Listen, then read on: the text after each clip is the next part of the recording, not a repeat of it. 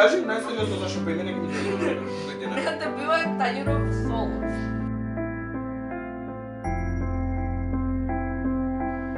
Не мора да ги читате. Верувајте ми.